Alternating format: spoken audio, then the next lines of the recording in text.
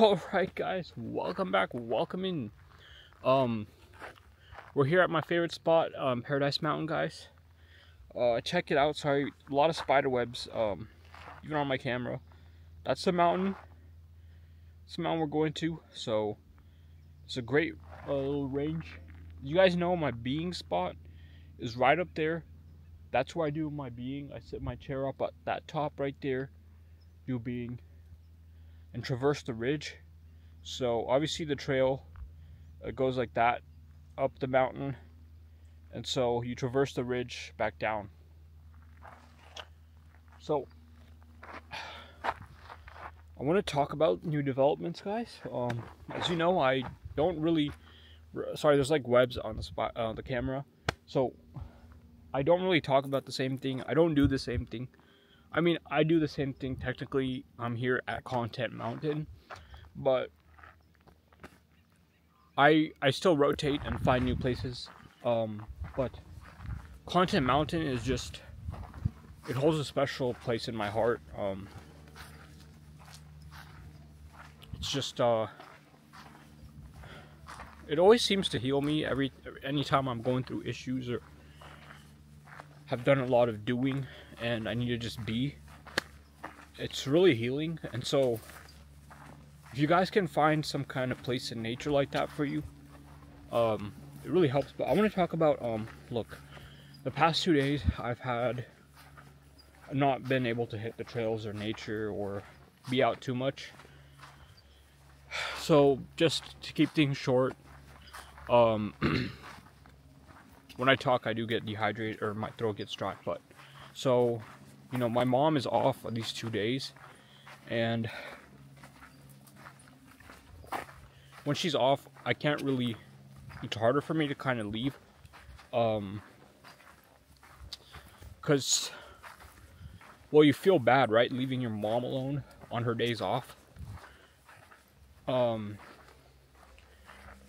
So, I mean, when she's off, I kind of have to keep her entertained and be with her. I don't have to, right? But it's just like I feel like I have to. Um, but I don't have to. But look, I'm trying to find a balance between everything. So, and again, that's kind of what it's all about. Is there? You don't like for me. I at this point in my life, I, I can't take the easy way out. So, I've taken the easy way out a lot of the times. I, I mean, most people do. They take the easy way out. Why? Because it's the easy way out. So, um, the easy way out for me would to just literally one day, um, next week, pack my things up and, and leave live out of my car and travel full time or even leave the country to another place. Like I really wanted to go to Guatemala and travel but I can still do those things if if I maintain a balance. I mean slowly for my mom in particular and people people in general it's like if they are dependent on you or attached to you you do kind of have to wean them off. It's kind of like a drug. Like, it's harder to just straight up detach. Um, um, cause you know it's just easier to wean them off slowly, and so that's kind of what I'm doing. Um, I'll always be there, obviously, for my mom and my family and stuff, but I don't want dependency on me or anything like that. Um, I'm an independent person, um, and I like being alone, as you guys know, with myself. So it is hard for me to like. I was with my mom for two days in a row, and I was just craving this freedom, and oh my god, I just had to like burst out of the house. So that's how kind of like I need my freedom and I need my um, independence and my alone time. Um, so I was craving it, and that's kind of why I had to come out here, guys, to this mountain again. It's content mountain, but I'm not here to make content.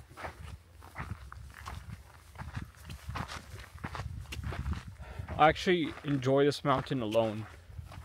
And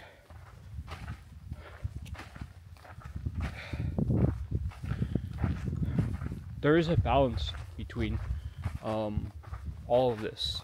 So, you know, being alone, being with people, being in nature, being in civilization, you know, to one extreme, there's an opposite. And so, finding the balance between both is, you know, always key. Like, for me, it's like living out of my um, SUV.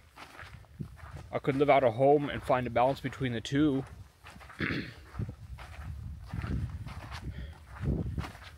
you have um, a partner or a friend, you can find the balance between being with them and not being with them and being alone. Um, so it's just everything is about that. It's about balance. Um, but the easy way out always seems great.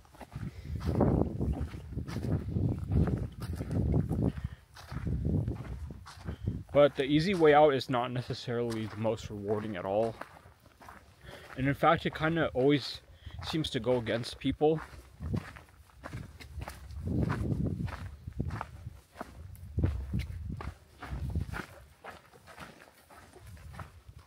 Um,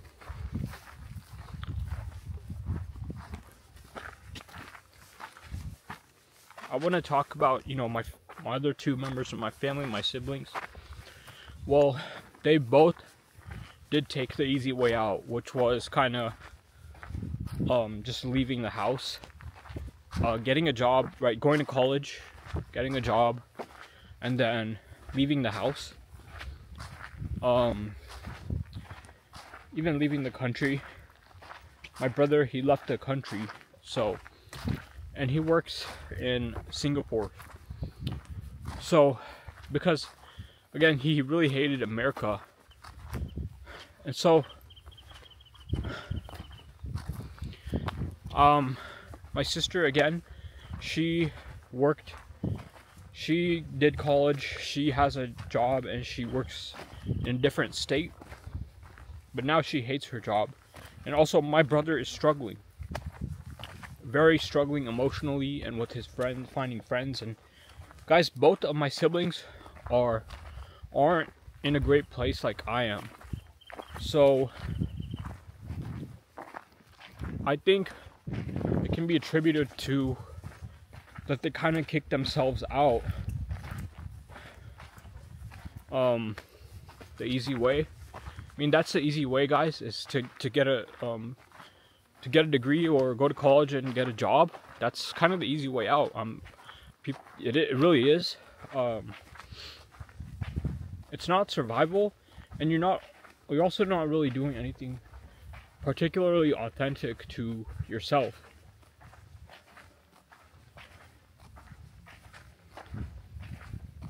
As a child, every child has different dreams. They have, they want to be a firefighter, or for me, I wanted to be a pilot, or some people wanted to be like ambulance drivers, or you know, it's like, or a nurse, you know. I don't know. Everyone has a dream, right, when they're a kid. I, I, I guarantee you that no child, you know, the age of four or five, has a dream of going to Harvard where does that come from? It comes from the parents, right? Or the programming.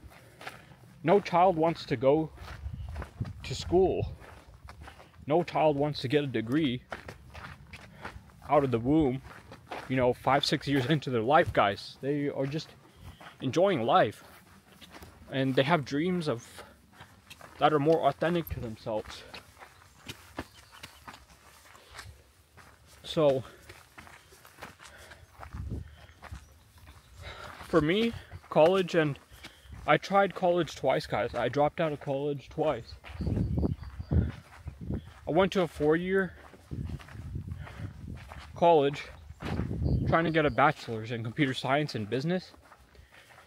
Then I went, dropped out. I dropped out my first year because it didn't align with my authentic self.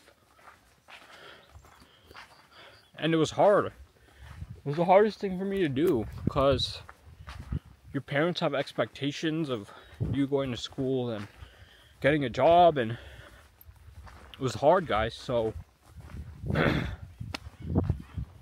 I just got so fed up with college that it was just so wrong for me and that it was just programmed into me from high school and the people around me.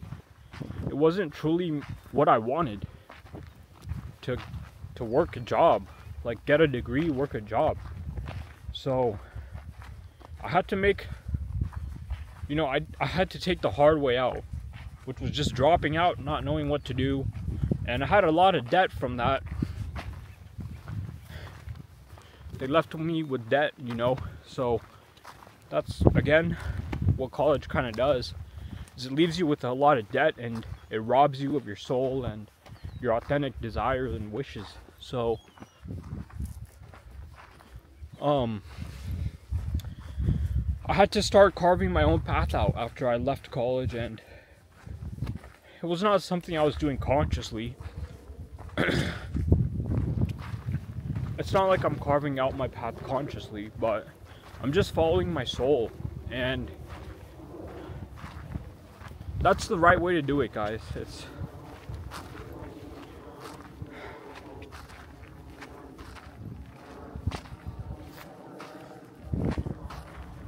so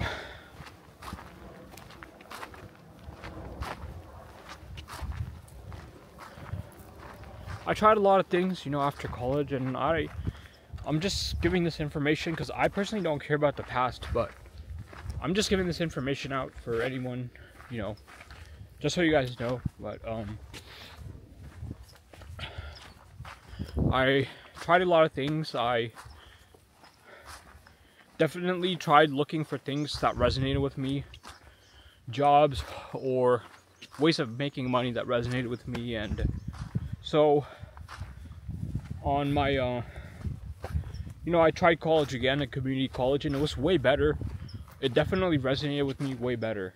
Um, and so when you're in that, when you find something that's authentic to your soul, it really resonates with you in a certain way that something that doesn't, you know, it, you feel different. And so that led me to other things and eventually I found out what I wanted to do. So I dropped out of that second year, two year college. Because my original plan there was to get my associates and then reapply for a four year. But you know the universe led me to greater things. And so just out of a coincidence, I did learn how to code. I knew how to code, right? Not from college, but self-taught. From a young age, like 14, 15 years old, I was coding stuff, like making software. And um I cheated. So I was a big fan of cheating. Guys, if you can cheat in college, please cheat. So I'm a huge fan of cheating. I promote cheating. So I love cheating and I would cheat on all my homeworks and my assignments. Now it's kind of hard to do, right? Because there's plagiarism checking out there. So what happened is I got caught for cheating. And one of my computer science professors called me in to his office. Well, first he failed me in the class. I had a B plus, A plus in the class. And I failed. I one day I checked my grade book or whatever. And I saw this huge D. A huge D on my overall grade. So I was obviously shocked. I was like, So he called me into his office. He's like, he left a note there. He's like, swing by. So I was really scared, right? I came into his office. this is funny because the universe really tells you, like, has a plan for you, even if you think it's bad, guys. I thought it was it was like one of the worst feelings of my life because it tanked my GPA. Guys, that D also led me to drop out of the second college. But check it out. How he caught me cheating, guys, was he put my code. He printed everybody's code out for the project. He took my code and he took another person's code. He highlighted the exact lines of code on mine that matched the other person's. And he basically said I plagiarized and copied this other person. That's why he failed me. I copied, I cheated. Which I did. Um, I did.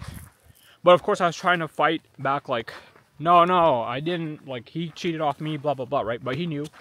So the guilt and all that, right? But that's when I got an idea, guys. And I had this idea of, well, look at this retard. First of all, I had some time to digest. And I was like, look at this retard, old head, thinking he's smarter than me. He's trying to teach me something here. But look at the way he checks how people cheat. He's printing out pieces of paper of code. He's printing out stacks of paper of people's code when they're being submitted through an online system. So I was like, dude, this guy is retarded. My professor is a retard. He has a PhD, but he's a retard. So, I came up with the first code plagiarism checking software that has become commercial. There, there's been a few before, but there's there was never any code checking software that checks online. You can look this up. I'm not gonna say the name, but you can just Google code plagiarism checking and maybe you'll find it. So I built this software. I spent one and two years building the software. And based off this experience with my professor, because he showed me that there's a problem, that all these professors are manually checking cheating, that there's no tool or software doing this automatically. So with that, I solved the problem. I created my own solution, put it on the market, followed my soul, my passion, I followed my soul, and that led me to publishing the software. And it started making me passive income. Six years later, the software is still making me passive income, guys. It's been making me passive income for the last six years of my life. And so I got these comments like, you don't have a job, get a job, right? This is what happened to me. And those one to two years, my head was down coding. I was working against all odds, focused on my passion. Coding 12 hours a day. And I was taking drugs. I was. I was taking focus drugs. I was taking Adderall. But I had to do this because it was my passion and I had to get the software out. And I'm not saying any of this to brag, guys. This is what happens when you follow your soul and go against everything else out there that's telling you otherwise. The universe will reward you for following your soul and your authentic wants and desires. But if you go against that, if you follow your mind instead, the mind that's been programmed by other people, by society, you're only going to end up doomed. So, and that's a guarantee. The mind is akin to pure suffering. So, following your mind is you're never going to be happy. You're never going to be happy. You're going to constantly be thinking doing, escaping, anxiety, depression. When you follow your soul, you're doing what's right with the universe. That there's a divine plan out there for everybody. But unfortunately, that's been lost. And hopefully, you guys can start following your soul, following your authentic purpose.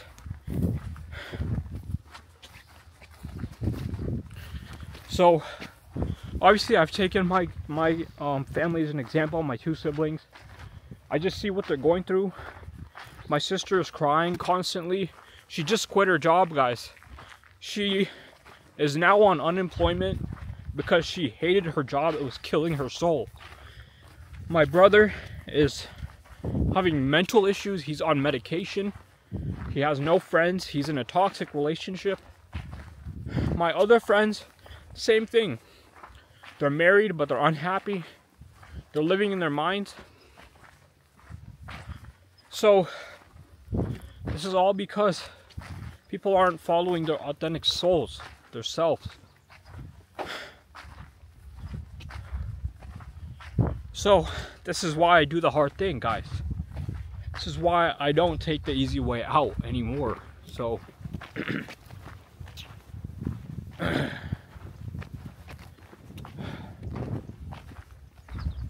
know, against all odds, you do have to break out of, you do have to break out of um, the programming, the conditioning, you know, no matter what hell breaks loose, guys. because you can manage it. Even if all hell breaks loose, you will still be able to manage it. You still have a mind. You still have a mind.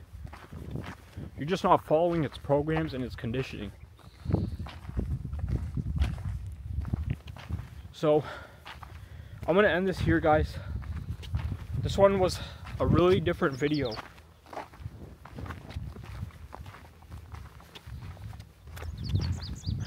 But I hope it really can help you guys align to your your guys' purpose, your real souls, desires and wants. Take me as an example. I've been through this. I'm out here, I'm living my life. I'm extremely happy and grateful. I'm just doing what I feel and I figure out I'll figure things out as I go. That's the whole point of life is there's no plan. You just do, you handle things as they come. And so,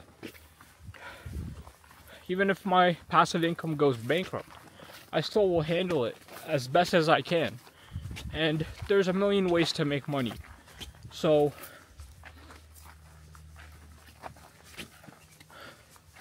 I want to end this off here, guys. Please please do what's best for you. Do what's best for your your really deep desires. Not desires of the mind which are material or external. Do what you really want inside. And in order to figure that out, you have to do being, as I say. Look at my other videos about doing being and you'll understand. All it is is what we're doing here.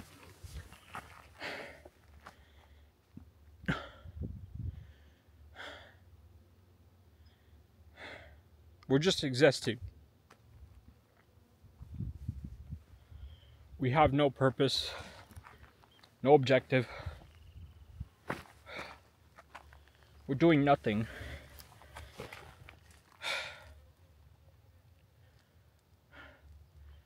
When you do being, you can go inside and realize what is it that you actually want.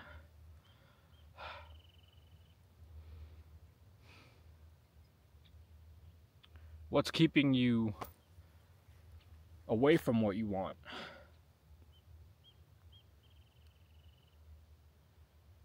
Your problems dissolve when you're doing being Everybody has their own way of doing being. You guys know mine. It's being out in nature, soaking in the sun, and releasing all thought, and just being present. Appreciating life, having gratitude. In these moments, you realize your problems are not real. What's real is in what's in front of you. What's real is this right here. I don't see a problem in front of me right now. Do you guys? Problems are of the mind. They don't exist, guys.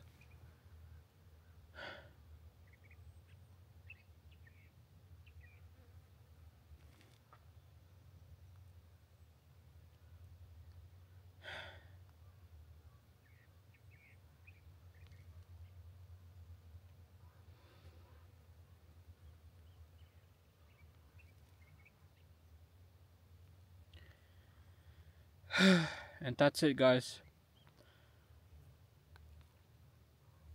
Do some being, find some peace.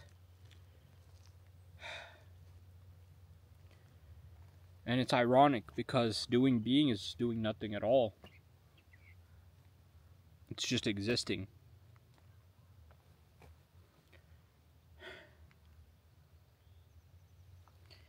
So, Is why I come out here for these moments. The peace, the feeling of the sun, the fresh air.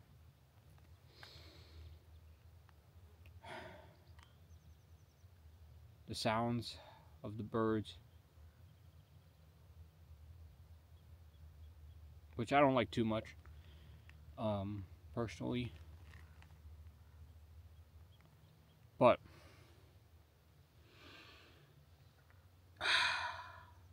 it feels good to do being, guys.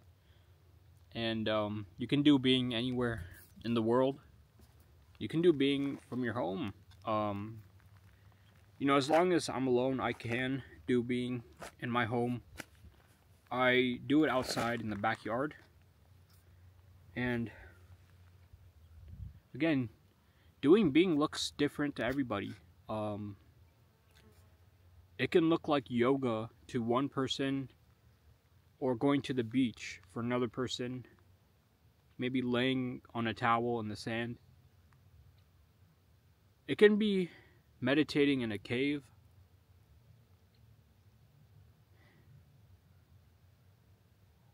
Doing being is just a state, a state of um, consciousness.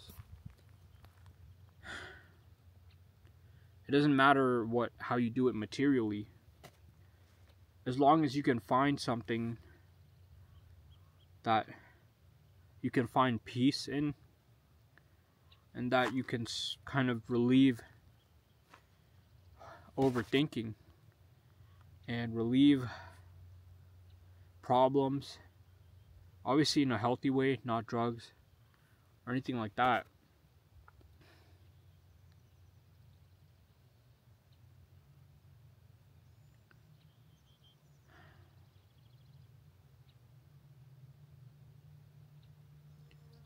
I'm gonna, you know, end this here. But guys, this is Content Mountain. I mean, Content Mountain, I'm always making videos here, guys.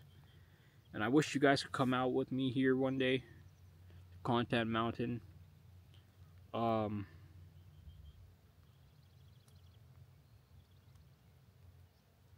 but we're out here. I mean, we are out here, so you don't have to physically be out here to be out here. We're, we're out here, even if you're watching through a screen. Um, we're on Content Mountain. So, that's it for this one, guys. Stay tuned, subscribe. Um, and I'll hit you up with more content on Content Mountain. Peace, guys.